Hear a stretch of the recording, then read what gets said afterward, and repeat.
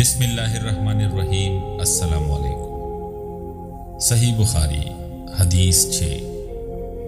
हज़रत इब्ने अब्बास रज़ियल्लाहु ताला अन्हु से रिवायत है कि रसूलुल्लाह सल्लल्लाहु अलैहि वसल्लम सब लोगों से ज़्यादा सखी थे।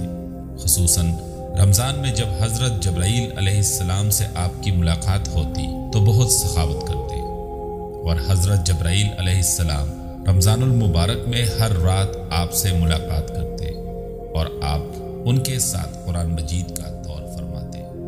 अलगरज, रसूलुल्लाह सल्लल्लाहु अलैहि वसल्लम, सदका करने में खुली, यानी तेज़ हवा से भी ज़्यादा तेज़ रफ्तार होते।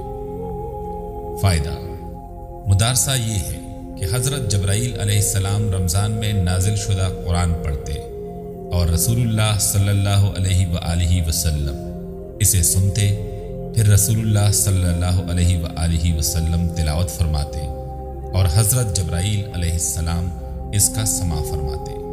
गोया बारी बारी कुरान मजीद पढ़ते, जिसे हमारे यहाँ दौर करना कहा जाता है। आखिरी साल रसूलुल्लाह सल्लल्लाहु अलैहि वसल्लम ने हज़रत जब्राईल अलैहिस्सलाम से दो मरतबा दौर किया, ताकि मजमूई तौर पर पूरे कुरान की याद दहानी हो जाए।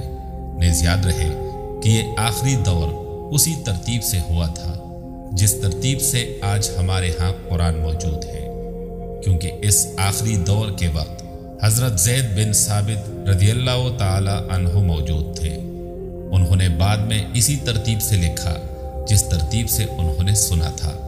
वाजह रहे कि हज़रत अबी बिन काब रदी अल्लाह ने तरतीबी नजूली के मुताबिक कुरान जमा किया था।